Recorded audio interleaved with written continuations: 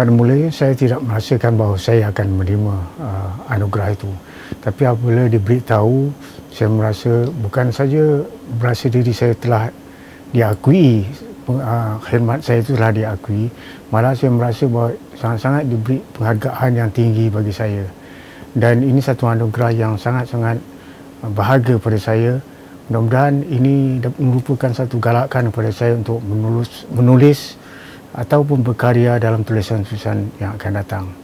Dan saya mengharapkan juga bahawa ini satu merupakan satu uh, dorongan kepada bukan saya kepada saya tapi juga kepada penulis-penulis lain.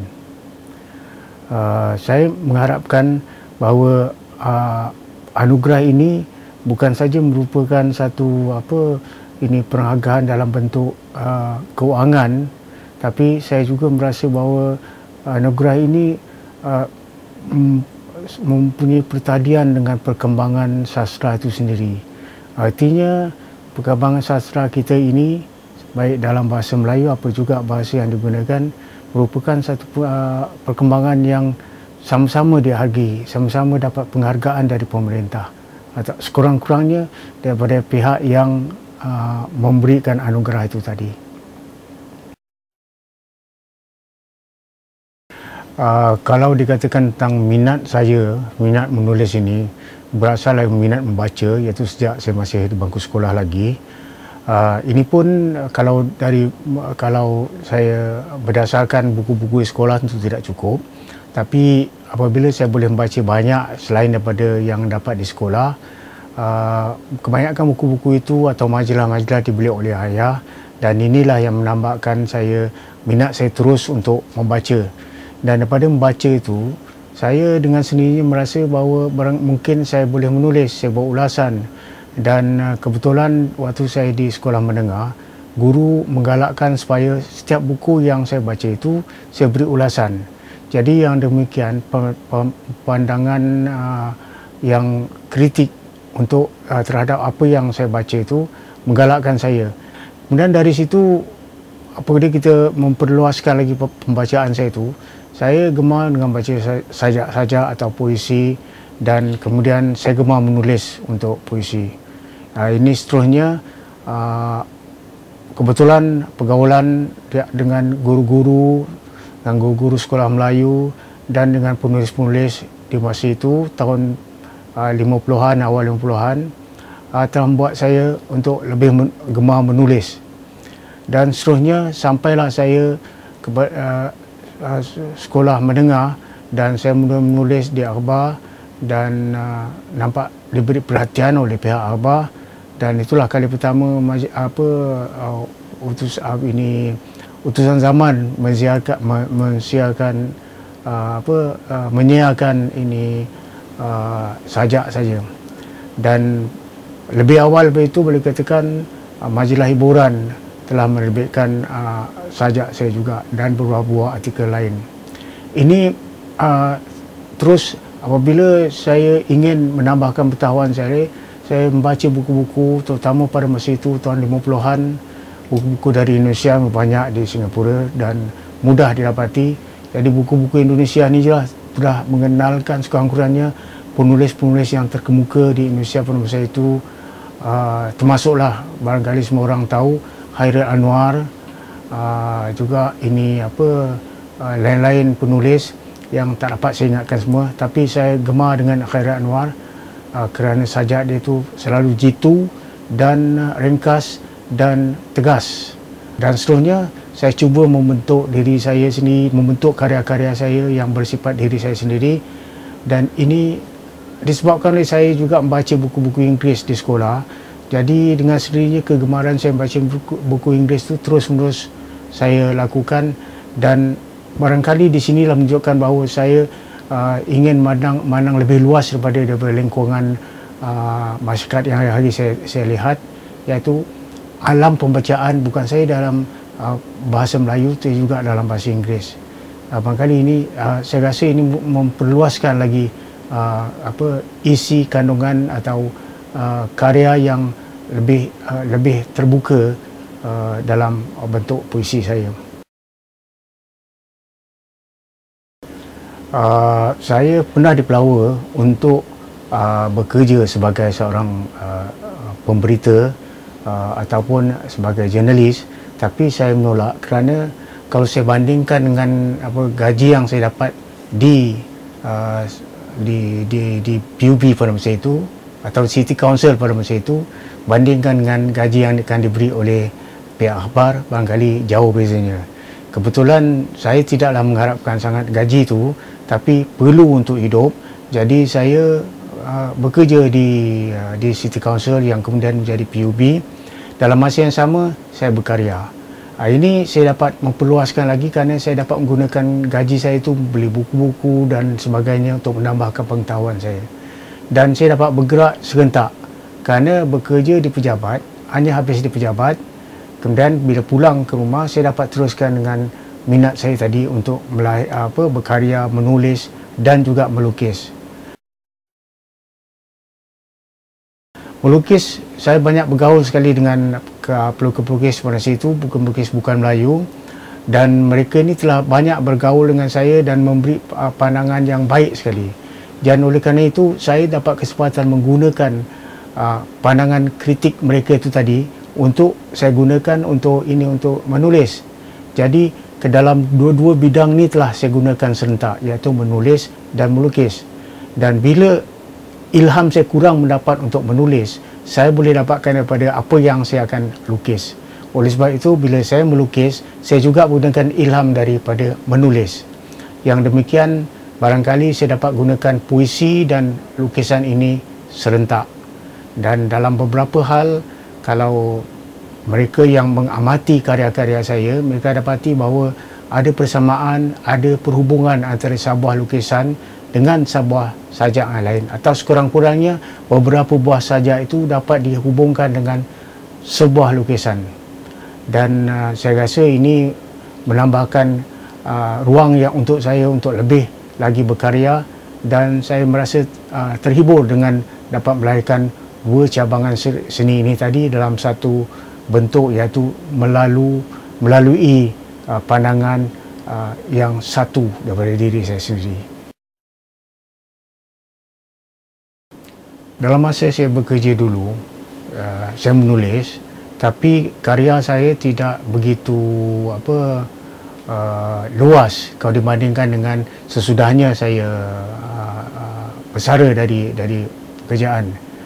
Tapi uh, dalam masa yang sama saya ingat hasil yang telah saya lahirkan dalam waktu saya bekerja dulu dia telah bagi sebagai satu dasar menjadi satu dasar yang begitu kokoh untuk saya mulakan apa yang harus saya lakukan sesudah saya uh, bersara dan pandangan saya mungkin kerana usia uh, terhadap alam ini terhadap uh, apa ini kemanusiaan ini uh, sangat luas sesudahnya saya uh, saya apa saya bersara. Uh, alam semula jadi macam ini selalunya indah pada saya perasaan dan pandangan. Dan bukan itu saja yang pernah saya bayangkan bahawa gerakan daun itu sendiri yang apa ditiup oleh angin tu pun dapat membayangkan kita bahawa, bahawa dalam serumpun daun yang pada pokok itu juga ada berlainan artinya mereka tidak mengikut satu arah tiupan angin ada kalanya ada juga daun itu yang yang apa yang uh, menentang arah angin datang. Ini membayangkan bahawa dalam kehidupan kita pun tidak seluruhnya manusia itu ikut satu arah, ikut arahan satu aja, tapi berbagai-bagai. Itu satu dia. Kemudian yang kedua lagi dapat daripada alam ni dapat seperti bunyi-bunyian uh, binatang cengkerik, belalang dan sebagainya. Ini pelbagaian apa ini uh, bunyi-bunyi tadi pun menambah menggambarkan kita bahawa mereka ini di mana saja berpeluang untuk menyuarakan apa ini suara mereka dan kita harus mengambil satu uh, perbandingan bahawa di mana yang tempat luas begini yang kita rasa lenggang itu ada penghuninya penghuni suara, penghuni alam, penghuni yang boleh kita jadikan sebagai perbandingan hidup kita sendiri jadi uh, kesunyian seperti ini sebenarnya berisi dengan bisikan alam yang kita dapat mengerti bahawa Ah, mungkin di kalangan binatang-binatang itu sendiri tapi kepada kita, kita dapat apa yang kita lihat itu sebagai satu suara daripada apa yang kita lihat uh, daripada alam itu sendiri. Apabila saya sudah uh, dewasa, uh, sudah berhenti kerja, saya dapat meluaskan lagi pandangan saya ini kepada lebih luas lagi kepada uh, apa ini tabiat manusia, kelakuan manusia dan saya merasa bahawa saya belajar daripada mereka ini lebih banyak daripada apa yang saya dapat daripada buku-buku. Tapi walaupun kedua-duanya itu juga penting kepada saya. Uh, minat saya dalam menulis cerpen uh, hanya timbul sesudah saya banyak melahirkan karya-karya dalam bentuk puisi. Ini dengan sendirinya oleh sebab kita membaca, baca khabar dan sebagainya, uh, dengan sendirinya apa cerita-cerita novel cerpen yang kita baca itu barangkali itulah mem, mem, apa, uh, membangkitkan minat saya untuk menulis cerpen dan da, pada tahun uh, 70-an lebih kurang begitu saya telah mula mulakan cerpen uh, dan uh, cerpen saya antara lain telah disiarkan di majalah Mutiara dan lain daripada cerpen apabila saya minat saya membaca pada sejarah juga menyebabkan saya uh, pula uh, mengambil uh, peluang untuk menulis drama berdasarkan sejarah. Uh, jadi kebanyakan drama saya yang telah ditulis yang telah di, di apa dipentaskan adalah berdasarkan drama.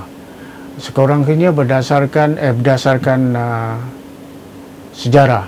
Sekurang-kurangnya uh, buku-buku yang telah saya baca terutama buku-buku Harun Aminur Rashid yang uh, uh, menulis novel sejarah maka saya mengambil kesempatan itu menulis berdasarkan melahirkan drama berdasarkan buku-bukunya uh, lukisan sebagai sebahagian daripada karya saya jadi dengan demikian uh, selain daripada saya melukis uh, apa lukisan yang apa yang biasa lukisan pemandangan dan uh, sebagainya yang kemudian saya gemar pada abstrak. Tapi saya juga melukis kartun. Entah bagaimana saya suka juga melakukan kartun kerana dalam kartun bentuk kartun ini uh, saya dapat menggunakan uh, wajah orang di masa yang sama uh, menyampaikan dialog yang ingin saya sampaikan dan hal-hal ini bergantung uh, apa yang saya dapat lihat daripada masyarakat. Tapi saya selalu berhati-hati supaya tidak menyinggung perasaan orang kerana lukisan ini kadang-kadang begitu sensitif sekali begitu apa dapat menyentuh oh, perasaan orang yang sensitif. Jadi uh, lukisan kartun tadi. Jadi saya supaya saya selalu gunakan supaya kartun ini tidak uh, uh, tidak begitu uh, uh, apa ini tidak itu menyentuh hal uh, masyarakat hal pribadi tapi dalam masa yang sama saya gunakan dialog yang agak uh, kata orang uh, menyindir hal-hal masyarakat. Kuhadiri temasya pameran pelbagai seni. Terwujud komunikasi mencatat sepenggal debat atas penilaian yang sama-samar. Lalu kucatatkan begini. Pastikan mengenali tradisi dan menghormatinya daripada menyanjung yang menjelaskan kejahilan. Nilai kelahiran kita terpinggir oleh penentuan mereka.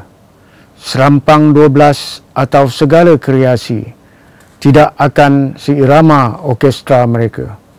Dan apa juga tradisi kita tidak terhimpun kerana mereka tidak punya penilai. Siapakah penilai murni untuk seni kita? Bertaraf jagat dan di mana? Bagaimana? Uh, puisi yang saya tulis dengan tajuk Seni Sejagat Kita uh, banyak juga ramai juga orang menganggap sebagai satu uh, puisi yang uh, yang berupa kritik. Dan semasa saya menulis itu sebenarnya saya saya mandang pada satu sikap uh, orang-orang yang uh, yang menganggap bahawa karya seni dari timur ini terutama karya seni batik dan apa juga karya seni dari timur ini tidak merupakan karya seni internasional. Dan terutama mereka yang apa bercakap tentang uh, karya seni global terutama dari dari apa dari dari Eropah lah.